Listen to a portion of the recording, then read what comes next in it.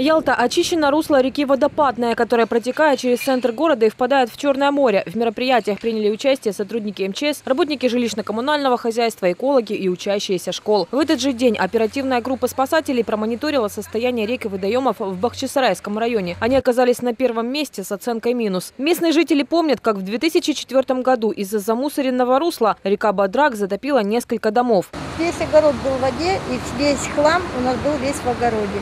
Дом у нас не дошла вода, а вот дома до сих пор снесены, стоят непостроенные. Такая же ситуация грозит и тем, чьи дома располагаются на берегах рек Кача и Альма. Их русла тоже нуждаются в чистке. Произведены были, видно, недавно мероприятия по обрезке деревьев. Все обрезанные деревья свалены в реку. И хочется сказать, что при сильном ливне, опять же, устье реки будет забито, и мы можем столкнуться с очередным подтоплением в Бахчисарайском районе. А это уже Симферополь. В порядок здесь приводят Салгир. Водоем возле радиорынка. Не обошли стороной и водохранилище. Спасателям пришли на помощь несколько десятков студентов. Для меня это хорошо, потому что здесь в чистоте находиться, как бы не в грязи купаться, потому что люди приходят, раскидывают мусор. Вот. И вот это все находится у нас в озере.